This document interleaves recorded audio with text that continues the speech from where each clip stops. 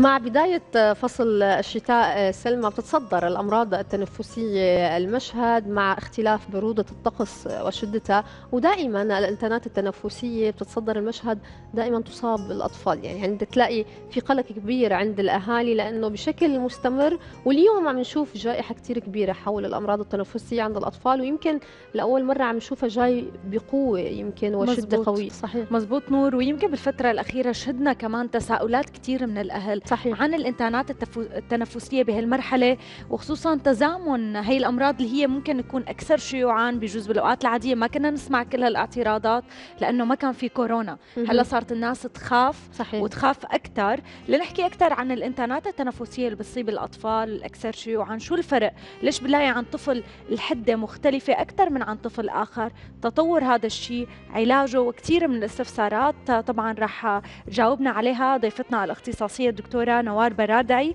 اختصاصية بالأمراض الصدرية. سعد صباحك وأهلا وسهلا فيكي. صباح الخير. يسعد صباحكم. يسعد صباحك. يمكن حكينا بالمقدمة قديش هيدا الموضوع بيشغل بال الأهالي خصوصا مع إصابة الأطفال المستمرة. يعني بتلاقي هلأ كل الأطفال مصابين بالرشح وعندهم مشاكل بالجهاز التنفسي.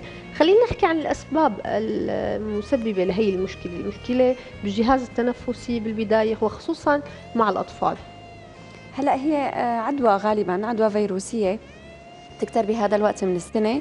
لأنه بتنشط الفيروسات التنفسية. بهذا الوقت من السنة وخاصة أنه نحن بيكون في عنا آه، مدارس بيكون في عنا آه، روضات هي أكثر شيء بالروضات بتكون منتشرة بدور الرعاية ال- ال- ال- عند الأطفال أيضا بتكثر بأعمار صغيرة يعني ممكن تحت السنتين بتعمل لهم شيء بيتسمى التهاب قصيبات شعري. صحيح. فبتظهر على شكل آه، خصوصي عند الأطفال الصغار آه، على شكل مثل ضيق تنفس. آه، لذلك الأهل بيكونوا قلقين ونحن اللي زاد القلق بهذا الوقت إنه في عنا كورونا مثل ما حضرتك قلتي. فصاروا يخافوا إنه هل يا ترى هذا كوفيد؟ هل يا ترى هو آه، قريب عادي؟ وهو فعلا يعني صعب التمييز بيناتهم آه، لأنه الأعراض بتتشابه بالحالات الخفيفة من الكورونا لذلك في قلق حول هذا الموضوع. نعم.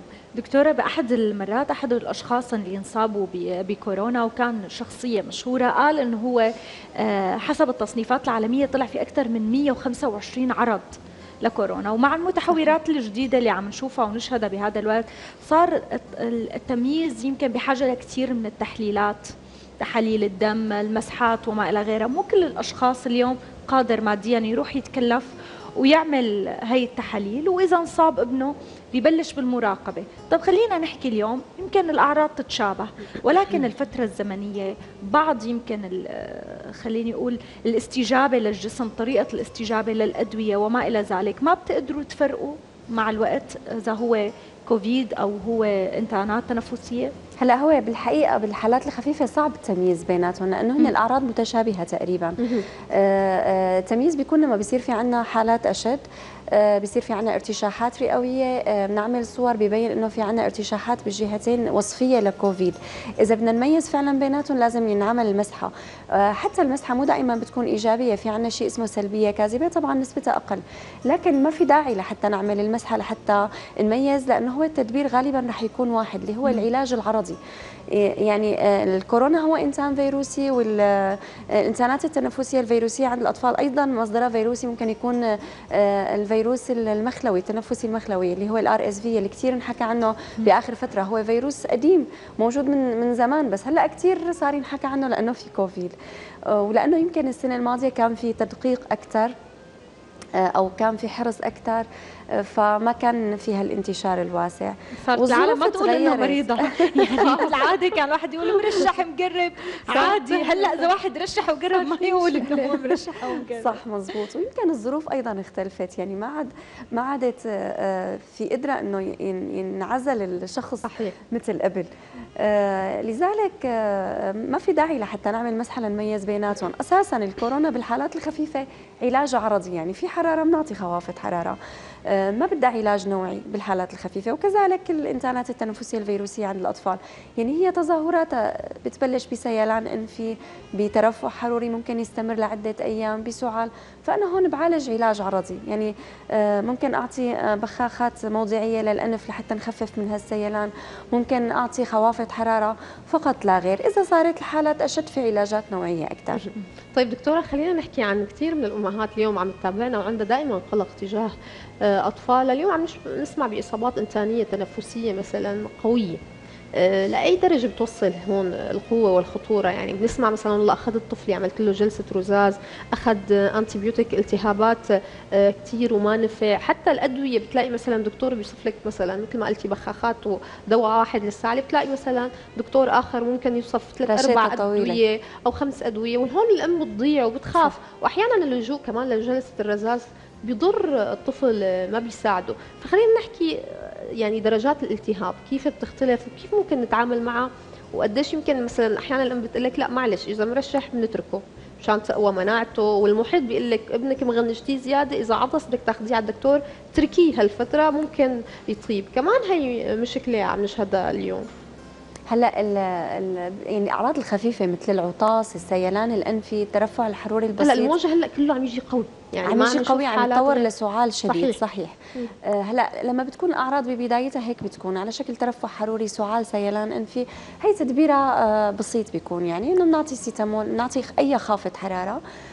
ممكن نعطي مثل ما قلت لك بخاخات أنفية موضعية وهون كثير مهمة لأن ممكن يصير في عندنا بدل ما يعني مو بس سيلان أنفي ظاهر في عندنا شيء اسمه سيلان أنفي خلفي. هذا نفسه هي المفرزات بترجع لورا بتنزل على صدره وبتعمل لي أيضا سعال معند.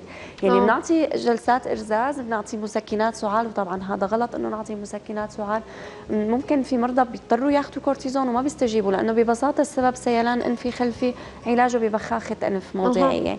آه هلأ في حالات أشد بتجي بصير في عندنا شيء اسمه أزيز بالصدر يعني بصير صدر الطفل عم يزمر الوالدة بتقدر تميزه.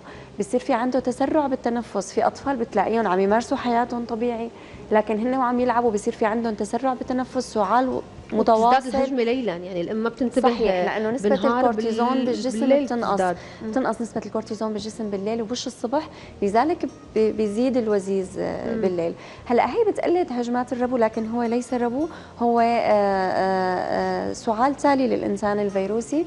علاجه معلش ممكن نضطر نستخدم هون جلسات الإرذاذ وهذا صح. بنضطر نستعمل بخاخات الكورتيزون الموضعي وأنا أنا يعني بعاني كثير لأقنع الأهل ببخاخة الكورتيزون الموضعي لأنه هو ما بيضر الطفل بالعكس بالعكس هو هون دوره. أحسن ما نعطي الطفل شراب كورتيزون. المشكلة باستخدامه آه الخاطئ هي النقطة هلأ الأطفال ما في طفل بيعرف يستعمل لا قلق الأهل يكون آه الاستخدام الخاطئ. بس مم. هون لما توجهيه للطريقة الصحيحة أكيد. نوعا ما بيكون ونحن ما بنعطي بخاخ للطفل بلا ما نشرح له إنه لازم يستعمله عن طريق حجرة إنشاق طريقة الاستعمال الصحيحة غسل التم بعد الاستعمال آه يعني شوية توجيهات للأهل. أحسن ما نضطر يعني حتى الصادات ما له دور. لذلك هو بياخذوا كثير صادات. بيجي لعندك الطفل أخذ صادين ثلاثة وما مستجيب. رد الدكتور بيعطيه صاد إضافي ما مستجيب. هون الصادات ما لها دور إلا إذا صار في عندي انتاج جرثومي مختلط مع الإنسان الفيروسي. بيبين بالفحص السريري وببعض الأسئلة. طيب دكتورة خلينا نحكي اليوم الإنتانات بتتطور بشكل عام وخصوصا عند الأطفال. وفي كتير آه، بيأدي يعني ممكن يكون مبلش الإنتان مثل ما قلنا بالأنف وجيوب وكذا ينزل على الحلق. بصير عندنا التهابات بلعومية. في كثير منا بيطنشوها بيقولوا عادي اللوزات إذا التهبوا ما في مشكلة هن صد دفاع عن الجسم. هاي الإنتانات مع الوقت والتعنيد اللي بتصيب فيه ممكن تؤدي لأمراض أخرى عند أكيد الأطفال. أكيد طبعا. يعني شفنا في روماتيزم بيؤدي بينصاب بسبب التهاب اللوزات. خلينا نحكي تطور الإنتانات شو ممكن يؤدي. هلا بداية بتؤدي لتأخر بنمو الطفل. يعني دائما عنده إنسانات متكررة أكيد حيصير في عندي تأخر بنمو الطفل بتلاقي أقل من أقرانه حتى أقل يعني تطور الروحي الحركي حيكون متأخر لأنه هو نومه بالليل ما ظابط. في عنده عسرة تنفسية أثناء الليل وبالتالي تنعكس على أدائه وتركيزه أثناء النهار. أيضا بكل يعني إنسان تنفسي نحن عم يعني الجهاز المناعي عم يشتغل في عندي يعني في عندي آلية التهابية بالجسم عم تصير. هذا مثل ما قلتي حيؤدي لممكن لفقر دم بسبب يعني التهابات مزمنة. بدها تؤدي فقر الدم حيؤدي أيضا لمشاكل أخرى خصوصي إذا الطفل عنده أساسا موجودات. يعني إذا كان في عنده أمراض قلبية بالعائلة. خلقية أو إذا في عنده خلقية عفوا أو إذا في عنده أمراض تنفسية مثل ربو قصبي أو في عنده داء ليفي كيسي أو في عنده توسع قصبي أو أي شيء. يعني هذا كله رح يساهم بتأخر نمو الطفل وأيضا بمعاناة الأهل وحينشر العدوى للأسرة. يعني بشكل هي دائره دائما نحن يعني نحن هلأ أنا اختصاصية بأمراض الجهاز التنفسي عند عند الكبار وأيضا نعالج الأطفال. لكن أنا الأكثر اللي يعني اللي بيجوا لعندي هن الكبار. الكبار عم يجوا آه، مصدر العدوى عندهم عم يكون من الأطفال. م. يعني أنا دائما بسأل الأهل أنتم عندكم أطفال بالبيت مصابين؟ بيقولوا لي إيه. آه، بتلاقي الكبار اللي عم يوصلوا للمشفى مصدر عدوتهم من الأطفال. العدوى عندهم. لذلك كثير مهم إنه نحن نعالج الانسانات التنفسيه عند الأطفال لأنه هي أيضا حتنشر العدوى بالمجتمع. طيب دكتورة يمكن بيقولوا لك إذا الولد انصاب بالرشح أول مرة وثاني مرة بيكون أخف درجة. الجسم اكتسب مناعة بس اليوم يعني عم نشوف لا ما صحيح. إيه، هذا هذا الشيء ما صحيح لأنه اليوم عم نشوف لا يعني عم ينصاب بالرشح وعم يكون شديد عليه وبتقول لك الأم بين الرشحة والرشحة عم يكون في رشحة. فهون شو السبب؟ يعني بغض النظر مثلا نقول انتانات تنفسية أو مشاكل أو الطقس طب فعليا حتى مقاومة الجسم عم تكون مختلفة ولا هي نفسها؟ لا هي لأنه ما عندنا نحن مناعة من ال... يعني هو ما بيعمل مناعة دائمة هذا ال... هلا ممكن أو لأنه الطفل كمان صغير ما عنده المناعه الكافية. حتى لو كان يعني انه هو لقط الانسان الفيروسي الجسم ما بيشكل مناعة دائما من هذا الإنسان الفيروسي. هلا في ممكن نضطر لأخذ اللقاحات. اللقاحات بدأ من عمر سنتين نحن بنقدر نعطي لقاح الإنفلونزا. مم. لقاح الإنفلونزا غير المناعة اللي بيكتسبها الجسم لأنه هذا اللقاح هو مكون من عدة مكونات. بتشوف شو الإنسانات الفيروسية الشائعة اللي كانت خلال ست شهور السابقة وبيكودوا اللقاح حسب طبعا هو بيتطور كل ست شهور هذا اللقاح المفروض. آه، فهون اللقاحات لها كثير دور. آه، خصوصي إذا الطفل دائما بيصير في عنده إنسانات فيروسية. أيضا مثل ما قلت لكم الظروف تغيرت. يعني بتلاقي بالصف كثير أطفال قاعدين. آه، مرض هالطفل هلأ أو طاب. مرض طفل بعده رجع, رجع بينعدى مرة ثانية. يعني هو ما بدها يعني هي ما بدها كثير كمان يكون في قلق من الموضوع إذا كانت الأعراض خفيفة. إذا كانت الأعراض أشد بده يكون في وعي بس من قبل الام إنه ما في مشكلة إذا صار في عندي سعال بستشير الطبيب. الطبيب بيقول لي استعملي له البخاخ. بستعمل له البخاخه بيتحسن الطفل. أما توجه للالتهاب دواء دواء الالتهاب. أنا هلا كنت بدي أقول إنه إني اعطيه الطفل دواء التهاب كل ما مرض. ممكن يعمل له إسهالات ممكن يعمل لي آه، مشاكل ثانية. ممكن بعدين يحتاج دواء الالتهاب. ما عاد يكون فعال عنده لأنه ما عاد يستجيب جسمه عليه. لذلك المشورة الطبية لو على الهاتف مهمة. أكيد. ويمكن دكتورة هلأ بهذا الوقت الناس صارت باللا شعور صار عندها خبرة من كثر ما سمعت ويمكن السنة هي والسنة الماضية واللي قبلها الحديث عن كورونا. صحيح. خلى الناس تقرأ أكثر تسمع أكثر تشوف تفاصيل أكثر بما يخص الانتانات التنفسية بالذات. خلينا نحكي اليوم عن أبرز العلاجات وفترة العلاج الطبيعي. يعني اليوم أنا رحت وتشخص إنه أنا عندي مشكلة تنفسية كطفل آه، قديش فترة العلاج شو الشغلات الطبيعية شو الشغلات اللي ما طبيعية وهون بحاجة لإستشارة أخرى. هلا البداية العلاج هو الراحة بنكتر سوائل للطفل راحة بالدرجة الأولى والتدفئة الجيدة يعني ما يتعرض لفروق بدرجات الحرارة. ما يكون قاعد بغرفة دافية يطلع لغرفة باردة أو يكون آه، بجو بارد أو مثلا هلأ بيسألوني كثير عن الحمام. الحمام ما مضاد استطباب ابدا لا بالرشوحات ولا بالكورونا لكن لازم يكون الحمام دافي, دافي وبرا دافي. هي بالدرجات الخفيفة ما بدنا غير هيك وشوية علاجات. يعني لازم الأم يكون في عندها خوافض حرارة بالبيت لازم يكون في عندها قطرات سيروم ملحي للأنف هي كثير مهمة لحتى نشفط هي المفرزات تطلع لبرا. بلا ما ترجع لورا وتعمل لي سعال معند آه، ممكن نعطي قطرة مضاد احتقان موضعي أو بخاخ. آه، طبعا مضادات الاحتقان لا يفضل استعمالها أكثر من خمس أيام. آه إذا استمر الاحتقان كل الأدوية بيقول لك أكثر من خمسة أيام لا تعطى ولا لا بس لا مضادات الاحتقان بس يعني يفضل إنه ما تستعمل أكثر من خمسة أيام. لأنه بتعمل ضمور بمخاطيه الانف ممكن بعدين تعمل لي مشاكل. آه، إذا اضطرينا ممكن يعني يومين زيادة بس مو أكثر من هيك. السيرومات الملحية كثير لها دور هون بالأنف. واذا تطورت الحالة أكثر يعني صار في عندي سعال فعلا تأكدنا إنه هو ما سيلان انفي خلفي. ممكن نعمل جلسات إرذاذ للطفل إذا في عندنا وزيز أو نعطي بخاخة كورتيزون موضعي عن طريق حجرة انشاق الحالات الاشد اللي الطفل بيكون في عنده ربو أو آه، تحسس مثلا تطور للربو آه، بعد الإنتان التنفسي عمل له وزيز ممكن نضطر نعطي شراب كورتيزون آه، فترة معينة أربع خمس أيام. طبعا حسب توجيهات الطبيب والشربات العشبية يعني زهورات السوائل الدافئه الصادات كل حالة بحالتها. بيتم تقييمها. طب دكتورة خلينا نحكي عن عمر الطفل. يعني لهيك سألتك بالبداية عن الأدوية لأنه أحيانا بتشوفي مثلا دواء أو اثنين ممكن ياخذه الطفل ودكتور آخر يوصف لك أكثر من دواء وبتقول لك آخر شيء إنه هي الأدوية يمكن ما عاد تنفع. عمر الطفل بيلعب دور لما أنا بدي أعطي أدوية مثلا حسب وزنه أكيد. الأنتيبيوتيك أو مثلا بنحكي على البخاخات إنه طفل رضيع يختلف عن طفل ما فوق السنتين. هلأ البخاخات فيني أعطيها بأي عمر؟ ما عندنا أي مشكلة فيها. بس طبعا بتختلف حسب عمر الطفل. آه بالنسبة للصادات أيضا بتنعطى لكن الانتانات يعني بعمر آه بأول ست شهور غير شائعة عند الأطفال م. لذلك الصادات يعني نادرا ما تستعمل إلا يعني في, لها حالات نوعية ممكن نضطر نستعملهم فيها بالنسبة للقطرات أيضا فينا نستعملها بأي عمر ما يعني ما في عمر معين للطفل لحتى نستعمله فيها. هلأ الراشات الطويلة بترجع لأنه بيعطي تحاميل مسكن سعال بيعطي شراب للسعلة بيعطي دواء التهاب بيعطي جلسات إرزاز بيعطي فهي هون بتكبر الوصفة. لذلك مثلا شرابات السعلة أنا نادرا ما أوصفها لما بكون عم بعطي بخاخ أو جلسات إرزاز. لشو مثلا بنعطي قطره بنعطي بخاخ هذا كافي يعتبر مم. بالانتانات التنفسية الفيروسية.